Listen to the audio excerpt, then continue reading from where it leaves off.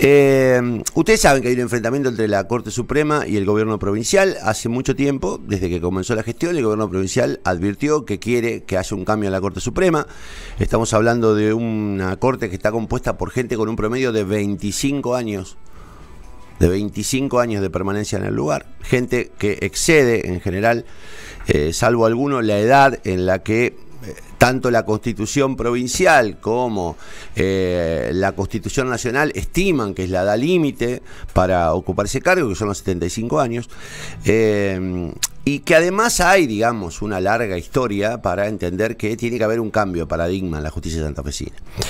Bueno, en ese contexto se dieron un montón de cosas, eh, discusiones, recuerdo cuando Puyaro los llevó, a, los invitó a hablar a las 7 de la mañana un domingo, eh, discusiones, la guita que se está gastando en el Poder Judicial de una manera discrecional. Eh, recuerdo que Rafael Gutiérrez gastó el 106%, del, el 106 del presupuesto de obras en el primer semestre y ahora está pidiendo más plata sin poder explicar en qué la gastó al anterior. Eh, y también es cierto que el gobierno provincial desde diciembre del año pasado le viene reclamando a la Corte un estudio y una descripción de cuáles son los funcionamientos de los juzgados, los rendimientos de los juzgados, para, este, eh, para establecer a cuáles van a este, nombrar jueces y a cuáles no, porque eh, hay pedidos de jueces que tienen en algunos casos más que ver con las necesidades familiares de algunos que con la necesidad de ocupar eh, cargos este, o lugares donde este, está funcionando regularmente la justicia. Pero Gutiérrez dice, quiero más cargo, quiero más cargo, quiero más, quiero más plata quiero más plata, que era lo que venía recibiendo de manera sistemática, con mucha condescendencia por parte de, los gobiernos de Wiener, Bonfatti y Lipschitz, que no pudieron, porque tenían siempre una cámara en contra, eh, torcer el brazo de ese poder este, intocable que es el judicial, eh, y con la anuencia que tuvo eh, tanto las gestiones de Reutemann Revilio, los que vamos a hablar ahora, como las de Jorge Obey y la del reciente Omar Perotti, que prácticamente este, le dio a, Gutiérrez eh, la plata para que él manejara eh, de manera indiscriminada todo, eh, sin que en aquel momento el sindicato de trabajadores judiciales hiciera ni siquiera una mueca frente a lo que pasaba con eso. Pero bueno, será materia de un comentario posterior. El jueves una espontánea manifestación de los trabajadores judiciales en el hall de tribunales cuando ingresaba Rafael Gutiérrez. Véanla.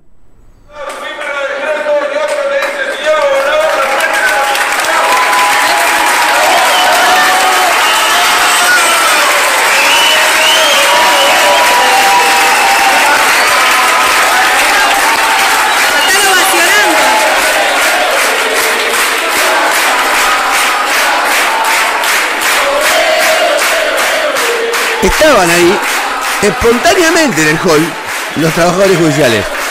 ¿Quiere decir eh, algo? ¿Quiere decir algo? Y celulares prendidos. Eh, esa gente estaba espontáneamente en tribunales ahí. Eh, justo era el momento en el que entraba el, doctor Rafa Gutiérrez y había un montón de gente en tribunales que lo recibió espontáneamente y lo aplaudió. Fue llamativo esto. Salió inmediatamente en todos los medios, en general los que responden, a, periodistas que responden este, casi ciegamente a los, este, al, presidente de la Corte, por amistades, por una histórica amistad. Eh, entonces yo, mirá cómo lo va a hacer el Rafa Gutiérrez. Yo ayer le preguntaba a Guille, ¿esto qué es una expresión de fortaleza o una expresión de debilidad? Era llamativo que hubiera un grupo de personas en el hall. Bueno, ayer también había un grupo de personas en el hall, en este caso había una convocatoria, y eh, había un acto de juramento de eh, tres eh, miembros, los nuevos tres miembros de este, la Cámara de Ejecución, polémicos, polémicos, porque fueron designados por concursos que despertaron por lo menos algunas dudas. ¿Qué pasó? Eh, hubo dos concursos, el de Porredón es el apellido de uno, y el de Valerio Urigot, que supuestamente habían rendido mal. Ambos interpusieron un recurso, ahí está Valeria Urigut eh, jurando ayer frente a Rafael Gutiérrez, y Porredón firmando frente, eh, jurando frente a Rafael Gutiérrez. ¿Qué cuestionan de estas dos designaciones? Cuestionan que eh, habían rendido mal cuestionan que después el gobernador los eligió porque estaban en el puesto octavo y noveno de la lista, en lugar de elegir a los primeros, segundos y terceros. Acá hay que hacer una dos disquisiciones. Primero, los concursos efectivamente se hicieron y que eh, Urigot y Porredón eh, salieron mal. Ambos lo, este, lo impugnaron a los concursos, hicieron una apelación frente a los concursos, porque en ambos concursos hubo una eh, actitud algo hostigante de quienes este, eran los jurados, y ambos demostraron, y por eso la resolución judicial, fue revocar esos resultados y ofrecerles resultados mejores, en virtud de cómo habían sido tratados, entre comillas, durante el... ¿Quién ordena a los jurados? Gutiérrez. ¿Qué no quería Gutiérrez? Que ni Poirredón ni Aurigot fueran miembros de la Cámara. ¿Por qué? Porque no responden a su esquema. Hay que decir, porque si no, esto queda como que entran dos acomodados, que los dos fiscales, especialmente Valerio Aurigot, son fiscales brillantes. Valeria Urigot fue la que se bancó todo, pues es la fiscal, hasta ayer fue la fiscal de balacera de Rosario. Fue la que puso el cuerpo, fue la que denunció que la mayoría de las balaceras se daban desde las cárceles. Fue la que enfrentó al gobierno de Perotti cuando le decían, che, loco, las cárceles son el problema. Controlen las cárceles. Y mataban gente a diestra y siniestra y usaban las cárceles como este, lugares o home office de, los monos y Alvarado mataban. ¿Quién enfrentó a eso? Valerio Urigot. Y la, impugnan. Y le dicen que es incapaz, que rindió mal el concurso. Le hicieron trapisonadas en el concurso. A ella y a Porredón. Yo estoy más convencido de ella que de Porredón. Porredón no lo conozco, no conozco demasiado su historia, pero todo el mundo te dice, che, eran dos fiscales brillantes. ¿Cuáles son las dudas? Y después, el gobernador los eligió octavo y noveno. Tienes el derecho el gobernador. Es lo que le otorga la ley. El gobernador puede elegir al vigésimo si quiere. En realidad puede elegir entre los primeros diez. Puede elegir al décimo si quiere. Es una atribución del Poder Ejecutivo decir, che, estos perfiles son los que me interesan para la ejecución penal.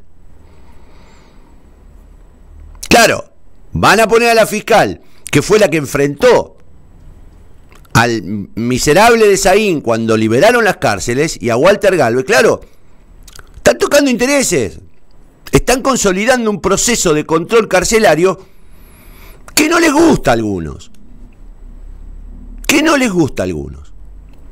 Me remito a los números de crímenes. Durante la gestión de Perotti me remito a cómo bajaron los crímenes desde que se controlan las cárceles. No importa.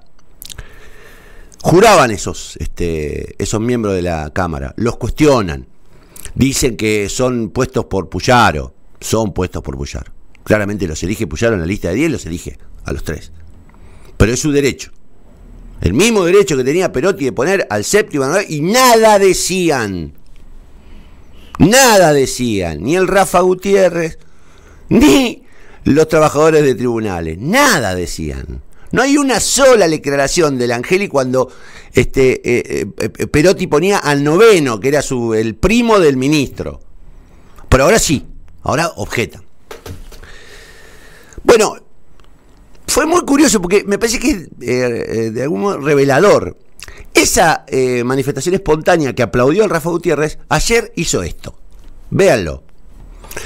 Entraban los ministros Cocochioni y Bastía a participar de la ceremonia de juramento de los camaristas y miren lo que pasa.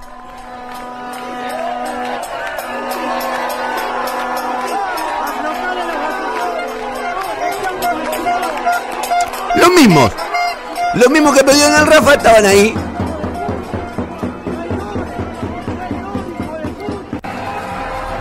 Eso fue cuando llegaron. Y esto es cuando se retiraron. Cuando se retiraron, prácticamente un esquema emboscada, baja por las escaleras los ministros,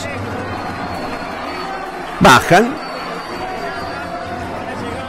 y los manifestantes no les permiten salir, los encierran e incluso les tiran golpe de puño.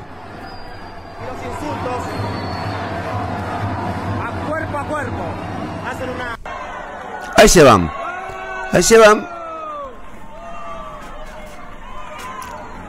Bueno, no hubo piña porque este, Bastía y Cococheni iban esquivándolas, ¿eh?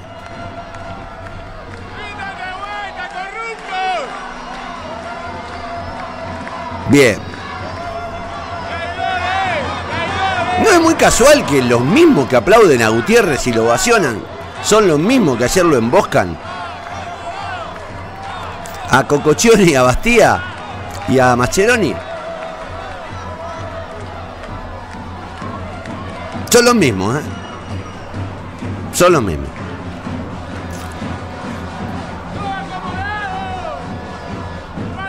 Bueno, Fabián Bastía eh, hizo una declaración ayer al final de, Fabián Bastía es el ministro de Gobierno.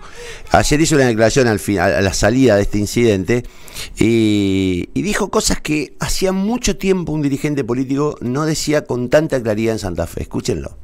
Podemos decir tampoco que sea hostil y demás. Hay gente que tiene su opinión y que se manifiesta y creo que es importante que todos respetemos las manifestaciones de los demás si queremos que respeten la nuestra. Así que eh, nada, creo que es parte de una coyuntura y de circunstancias que nos son absolutamente ajenas al Poder Ejecutivo, pero que entendemos eh, en, el lugar que se encuentran los manifestantes y, bueno, es parte de la realidad nuestra de todos los días. ¿Cómo tiene que ver con los cambios en la Corte Suprema? ¿Cómo se le responde a eso?